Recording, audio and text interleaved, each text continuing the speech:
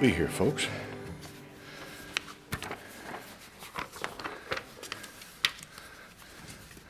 The problem with this morning is all these cars got my way on trying to get over here.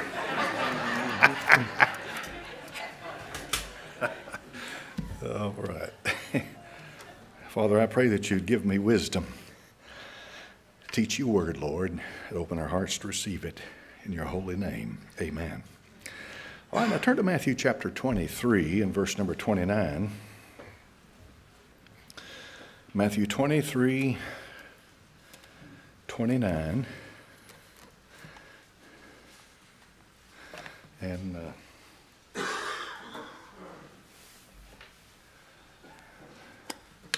I'm going to read for read for you for uh, Hebrews Hebrews chapter number 11. All right. It says, God who at sundry times and in divers manner spake in time past to the fathers by the prophets, hath in these last days spoken unto us by his Son, whom he hath appointed heir of all things, by whom also he made the worlds. He's talking about the prophets and he's comparing Christ to the prophets. Now we know that Moses said plainly, The Lord your God will raise up unto thee a prophet like unto me. And the Lord Jesus Christ certainly was a prophet. A prophet is one who speaks forth into the future. God gives him the vision, the word, whatever, and he tells you what's going to happen. In Matthew chapter number 23 and verse 29, here's what the Lord said about Woe unto you, scribes and Pharisees, hypocrites, because you build the tombs of the prophets and garnish the sepulchres of the righteous and say, If we had been in the days of our fathers, we would not have been partakers with them in the blood of the prophets. Wherefore ye be witnesses to yourselves that ye are the children of them which killed the prophets. And there's nothing in the world like self righteousness that'll come between you and God. It creates a real problem. And in verse uh, 34, Matthew 23, Wherefore, behold, I send unto you prophets and wise men and scribes, and some of them you shall kill and crucify some of them shall, be, that shall ye scourge in your synagogues and persecute them from city to city. So he is bringing a uh, blistering attack upon their religion, upon their religious uh, understanding, because they should know a prophet when one comes. And, uh, and of course, what he's doing, preparing them for himself. Matthew 23, verse 37. O Jerusalem, Jerusalem, thou that killest the prophets and stonest them which are sent unto thee. How often would I have gathered thy children together, even as a hen gathereth her chickens under her wings, and ye would not. He came into his own, and his own received him not.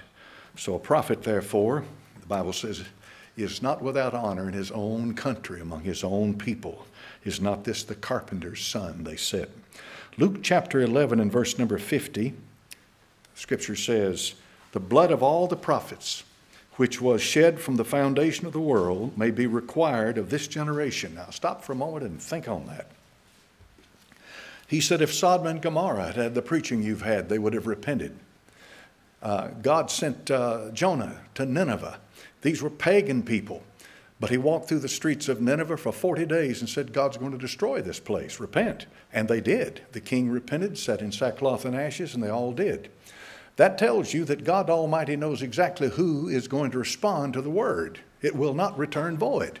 It will accomplish that which he pleases and prosper in the thing whereto he hath sent it. But notice the accountability. See, this is, this is the issue. You have to understand this is a major issue in the Bible. The blood of all the prophets, which was shed from the foundation of the world, may be required of this generation. That's amazing. That's utterly amazing and from the blood of Abel to the blood of Zacharias, which, was, which perished between the altar and the temple, verily I say to you, it shall be required of this generation. So we've got an issue going on here, quite an issue. And uh, he told them in, in John chapter number 14, look over here what he says in John 14. Let's just go to John 9. John 9.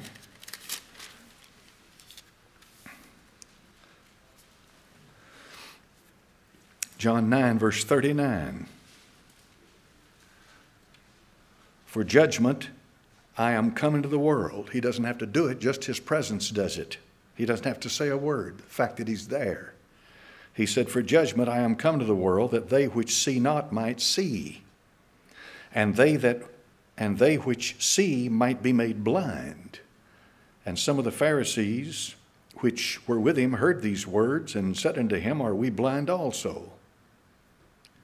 Jesus said unto them, If ye were blind, ye should have no sin. But now ye say, We sin, therefore your sin remaineth. He didn't say you would be sinless. That has nothing to do with the text. What he says is that you would not be accountable for rejecting the truth and the light.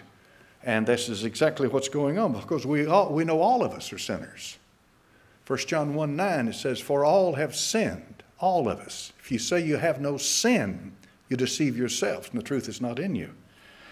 So the issue is certainly as clear as it can be. The Lord said, uh, if you say you see, and here's the light, and you turn yourself away from the light, then you turn into spiritual blindness, and you're accountable for it. And that's a sad state. That's a very sad state, and that's exactly what Israel did. Now I want you to look at Luke chapter number 20 and verse number 9. Luke 20, verse number 9.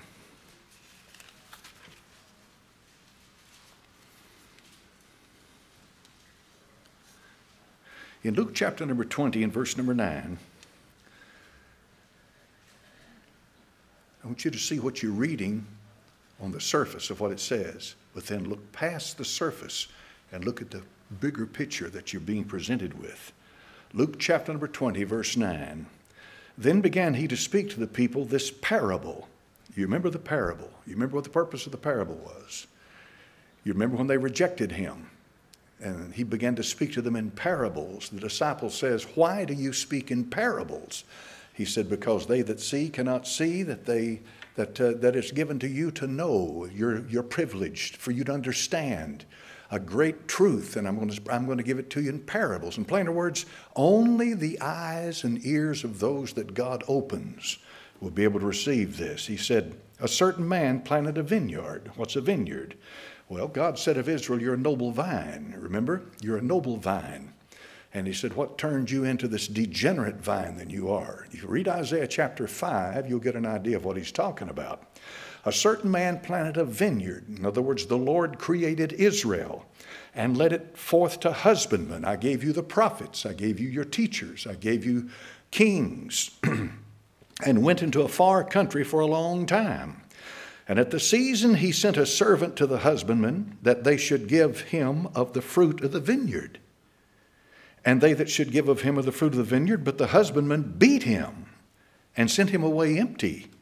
And again he sent another servant, and they beat him also, and entreated him shamefully, and sent him away empty. These are the prophets that he's sending to them. This is the word that's coming to them. He's trying to speak to them, to receive his word. And they, third, again, he sent a third. They wounded him also, cast him out. Then said the Lord of the vineyard, What shall I do? I will send my beloved son. See that? It doesn't get any greater than that. It doesn't. There's none greater, there's no clearer message, there's no, there's no more to wait for. I will send them my son. It may be they will reverence him when they see him. So he came into his own, his own received him not. If anybody on this earth should have known who the Messiah was, it should have been the Jews. Amen. It should have been the Jews. Pontius Pilate said, I find no fault in him. He didn't think about a Messiah, but he said, This man's not guilty. The pagans over there in the book of Acts, if you remember when we were talking this past Wednesday night, uh, they, they found no reason for this man to be put to death, and yet they, these Jews were after him. The Apostle Paul we're talking about, they were after him. And so they sent him on to Rome. They said, Our law does not tell a judge, our law does not condemn a man to death until he has an opportunity to defend himself to face his accusers. And of course, the Apostle Paul was a Roman citizen, which gave him a privilege in the sense that he had a right to a trial to face his accusers. Yet these Jews had brought in false witnesses and they wanted to put him to death. So they had proven over and over and over again, time and time again, that they didn't care anything about the truth. or altruism or anything of that nature. It was all expedient. What could I gain from it? How can I advance myself? What's in it for me?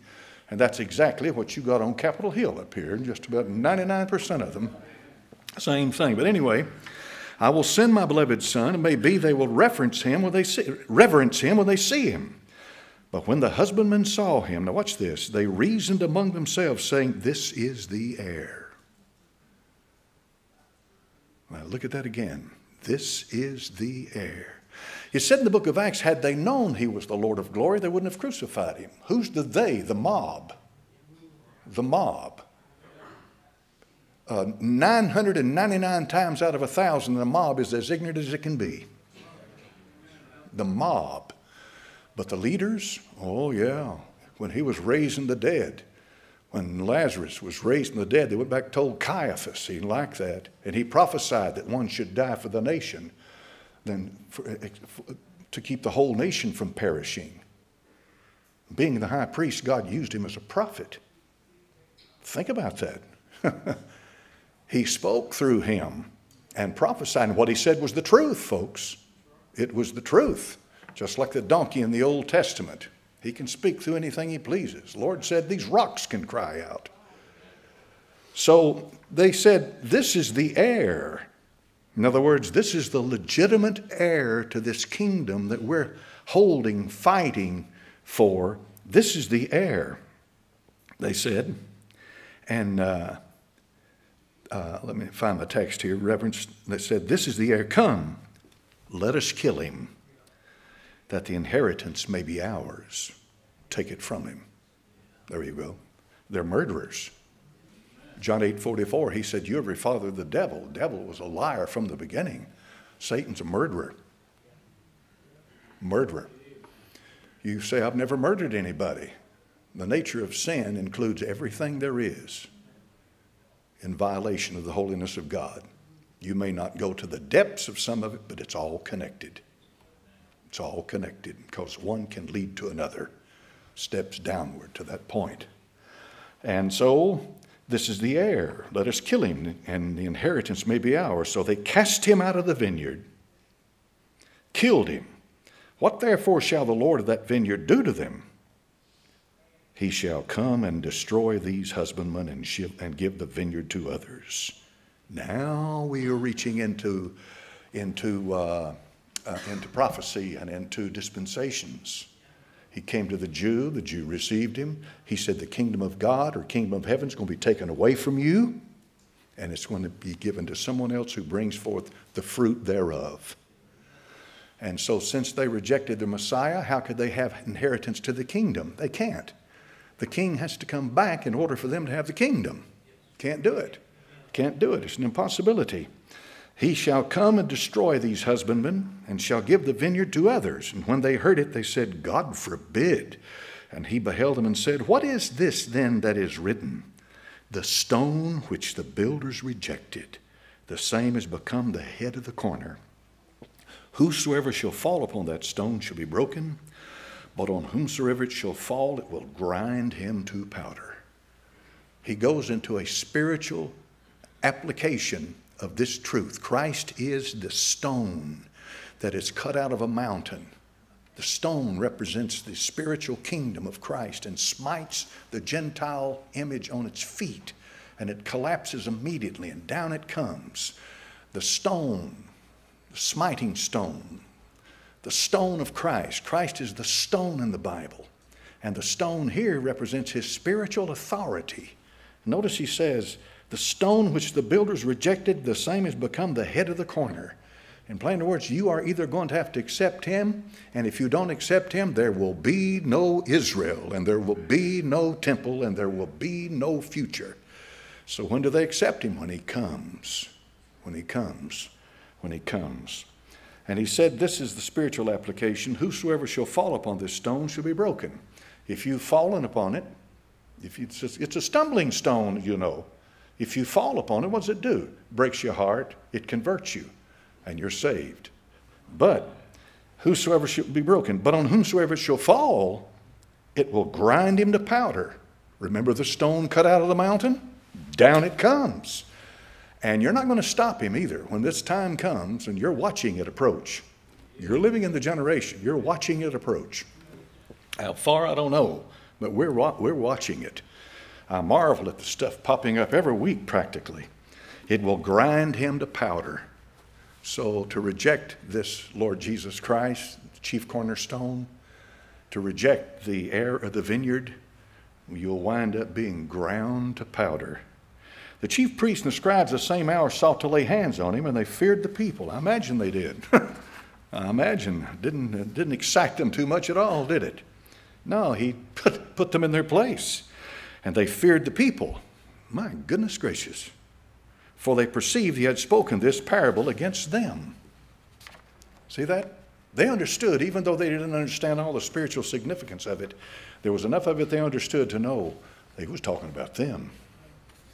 They knew it. But they feared the people. You read the New Testament and how these Pharisees dealt with Christ and all of the all of the politics involved and all of this back and forth that goes on. Nothing's changed. 2,000 years ago, it was exactly the way it is today. Exactly. Not a thing has changed. That's one of the reasons I believe the Bible. It doesn't try to paint man as something he's not. Now, Hebrews chapter number 3 and verse number 1 says this Hebrews 3 1.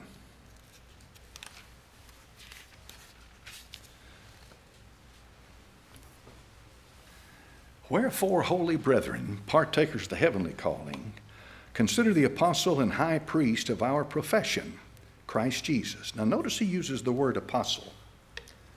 All right? Apostle's translation is sent. He's a sent one. Apostellos, the Greek word. It means he's been sent.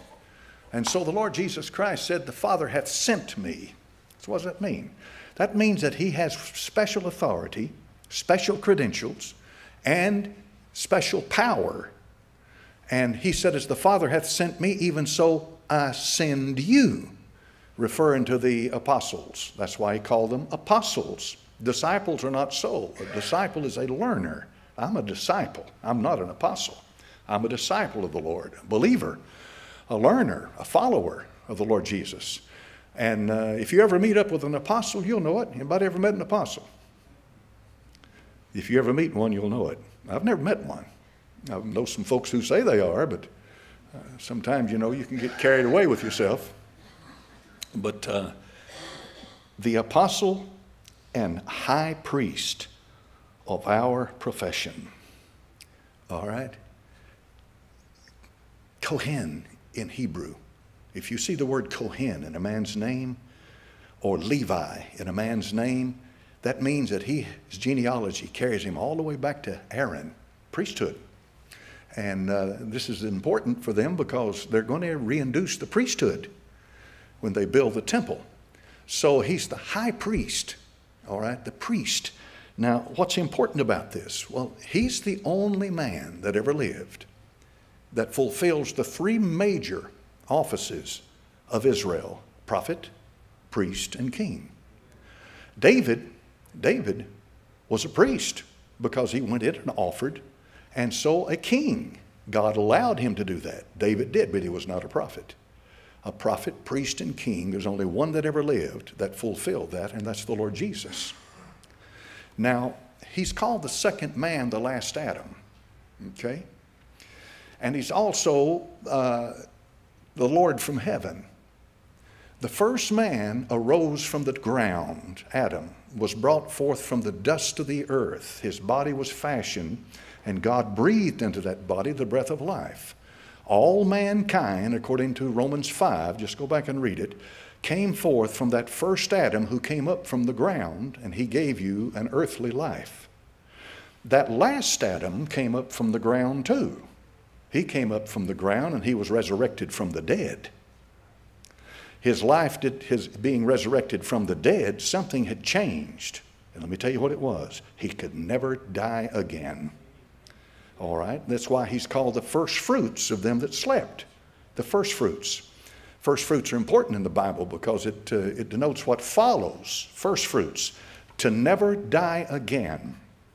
Therefore, when he arose from the dead, he is a priest forever after the order of Melchizedek when he rises from the dead. Not until then. Until then, the Lord Jesus Christ is a prophet, and a prophet speaking to men, prophet given the word of God. This is why the apostle who wrote Hebrews says, God, sundry times in divers manners in time past, has spoken to us by the prophets, but in these last days he hath spoken to us by his Son. The Lord Jesus Christ, therefore, is compared with the prophet, and rightfully so. He's a prophet. God speaks to us through him. And, uh, you know, we need to be careful about that. Uh, how many of you have a red letter Bible? Red letter New Testament. I've got two or three, and I've got both, got both kinds. Some aren't red and some are. And uh, some folks uh, think that that is, uh, you know, is an arbitrary thing. It shouldn't have been done like that. Well, there's no sense in arguing something like that. Truth of the matter is, when you open up the Bible and you see those red letters, it pretty well points you right to it. You're, here's the Lord talking. Let's listen to what He has to say. And, uh, and the reason you do is because you want to know what He said, right? What did Christ say? This is important because when you get on over in the New Testament, the Apostle Paul, who wrote 13 books, and uh, a lot of people like to compare Paul with Christ and say Paul was a heretic and he created his own Christian religion. And the religion that Paul created had nothing to do with the faith of Christ and what he taught while he was here on this earth. So they pit one against another. What they've done is destroy your New Testament when they do that. And, and, the, and they do that because they're ignorant of the Bible. So he was a prophet, but now he becomes a priest. And he becomes a priest because he offered himself unto God by his own blood, he entered into the Holy of Holies, and there he offered his blood to God, and then he sat down at the right hand of the Father. All right? The Bible says we are begotten again. We are begotten, born again. To the, uh, uh, born again by the resurrection of Jesus Christ from the dead. This is what Peter said. So, what's that mean? That means when he rose from the dead, that ratified the New Testament, the New Covenant, Hebrews chapter number 9, and therefore you can be born of the Spirit of God. That's a, now that's a big deal. And when that happened, he became the last Adam. Be- being the last Adam, all of those that are born of the Spirit of God, the whole family of God, will have to be related to the Lord Jesus Christ in one way or another. He's the last Adam. So when we come to his priesthood, it's important to understand that he's not a priest after Aaron, which limits his priesthood to his lifetime but is a priest forever after the order of Melchizedek. Melchizedek is a conjunction of two Hebrew words Melech, which is king, Zedek, Zedek, which is righteous. He's the king of righteousness, and he will reign as the king of righteousness. Wars and rumors of wars, hegemony, and all that goes with it when you take and run over and this and that and so forth and so on to try to scratch and claw and take care of much of the land that you can, that you can get. One nation rises against another nation. You ought to study sometime, and I've been studying this, the reason that nations go to war. Why do they go to war? Why, why, why are they warring? Have you ever read in the history of mankind where the people declared war on the people of another country? Think about it. No. No, it's the polecaticians that de- declare war on another country. Yes, they do. They have reasons for it. One of the major reasons today for war against countries is their resources, to take what they have, their oil and what have you. That's one of the major reasons today that they declare war. But you know, just like anything else, you can cover it up by projecting, well, we're doing this to stop something or this or that. But the truth of the matter is, not for that reason. You remember Smedley Butler, he was a major general in the Marine Corps. And Smedley Butler, at that time, we're, we're talking the 30s and 40s, uh, he, that, apparently they say it was the highest rank you could attain in the Marine Corps. Marine Corps is not small compared to the Army. Never had a five-star general like MacArthur. And Smedley Butler said that war is a racket. He said it's a racket. He said, I went down to South America, Middle America. I went down there for the bankers and for the oil men and for this and that and this and that. And he said, I got what they wanted. He said, but it cost the lives of an awful lot of young men. And he said, I'm tired of it. That's what he said. Tired of it.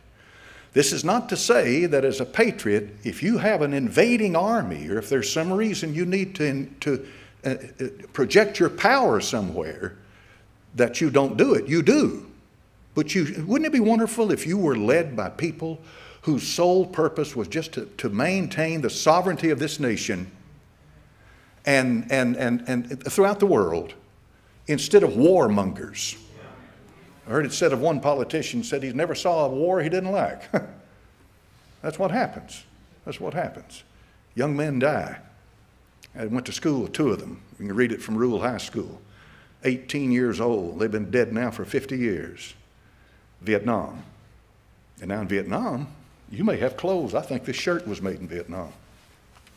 You have clothes and stuff that's made in Vietnam, right? What's the point here? That's something to think about. Wars. He's the high priest of the whole race. The scripture says that these priests were made without an oath.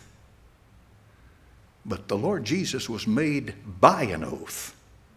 And because the Lord could swear by no greater, he swore by himself that thou art a priest forever.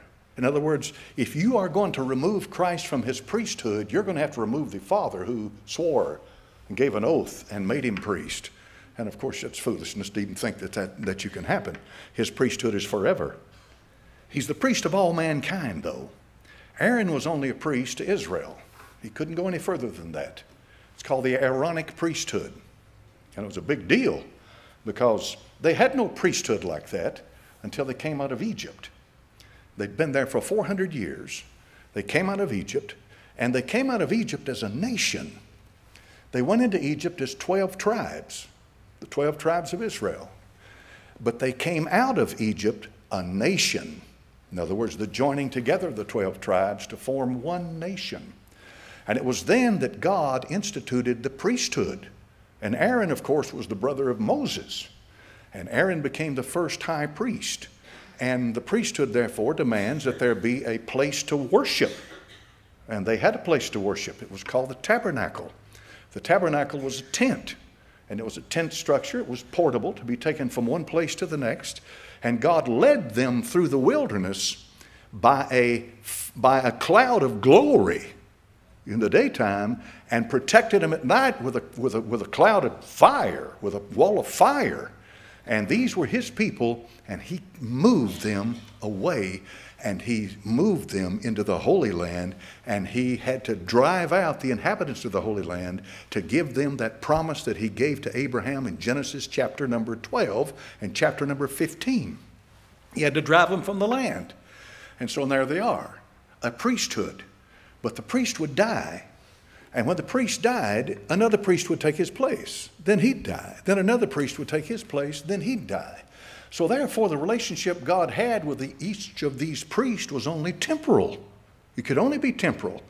But the Lord Jesus Christ is raised up as a priest. And here's when he shows up. If you remember, Abraham paid tithe after he came back from the slaughter of the kings and he picked up his nephew Lot. He paid his tithe to somebody. You remember who it was? Yeah, Melchizedek. Remember the name Melchizedek, the king of righteousness. King of what? He was the king of Salem. Melchizedek was the king of Salem. Where's Salem? What is Salem?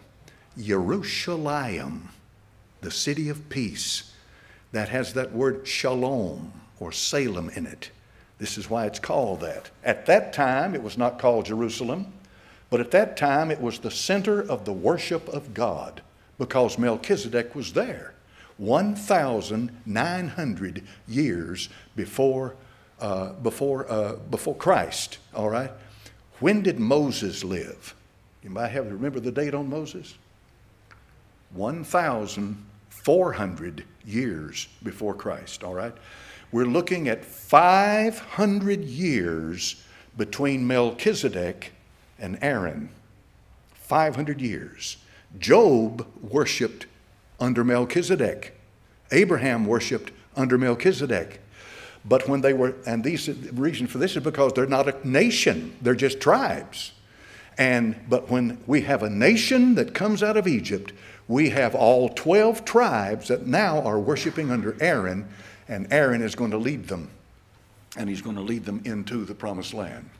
So, the priesthood of Christ is a priesthood that is typified by Melchizedek in the Old Testament. Now, I don't want to get into a thing about, well, Melchizedek was Christ, pre incarnate, and all that. Some say he was Shem, this, that, and so forth and so on. You can't prove any of it, but the truth of the matter is, when you read Hebrews chapter number seven, without father, without mother, none, of the, none of the genealogy that, that humanity has, like us, then it makes you think that Melchizedek might have had some kind of relationship with Christ in a way that we don't understand, some kind of a spiritual uh, connection with him. In plainer words, Melchizedek might have been something like an angel or more than an angel. He might have been an appearance and a representation. Who knows? Because there's no record of his birth and there's no record of his death.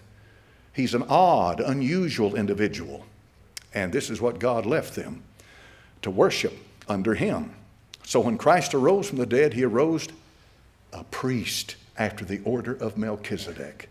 And the reason it's so important is because under Melchizedek, the whole world, all mankind, Jew, Gentile, bond free, whoever, wherever, whenever, now can be accepted into the family of God. And that, thank God, I'm, I'm glad for that. I'm glad. The Bible says we have an altar they know not of that serve the tabernacle. They had holy ground then. We have holy ground now. Their holy ground was established by the Lord. Now, anywhere you put your foot, is holy ground. Amen. Different. So the Bible says, he, because he had an unchangeable priesthood, he's able to save them to the uttermost. Now, what do you think about this? You remember what I said about life? You remember what I said about the priest? When the priest walked in, he had the breastplate. He had the 12 stones on the breastplate. He also had it on his shoulder, the epaulets, they call it. He carried the shoulder, represented his strength. He was carrying Israel by his strength the priesthood, the, the plate on the priesthood was near his heart, so he's carrying them in his spirit and in his soul into the presence of the Lord, all right? He would come and intercede for the people. He would pray for the people, stand for the people, but then he died. Somebody would have to come and take his place. And so there was a chain there. It was broken from one to the next to the next to the next. But listen to what the writer of Hebrews says. He says, But this man, because he continueth ever, hath an unchangeable priesthood. Now, how is he? Look how he connects it. Wherefore, he is able also to save them to the uttermost that come unto God by him, seeing he ever liveth to make intercession for them. Unbroken, everlasting life. Here's the bottom line. Let me tell you how long your eternal life will last. It'll last as long as Christ lasts because He is our life. And I believe it'll be forever and ever and ever and ever and ever. Why? Because He's God. That's why. It's impossible for God to die. It's an impossibility. Impossibility. God cannot die. And so he, uh, he, he's able to save to the other. The word uttermost here is a good word, too. It, it literally means in every sense, in every respect, and to, and, to the, and to the fullest and greatest degree, he's able to save you. That means from the moment He saves you till the time you leave this world, He's going to stick with you. He'll never forsake you.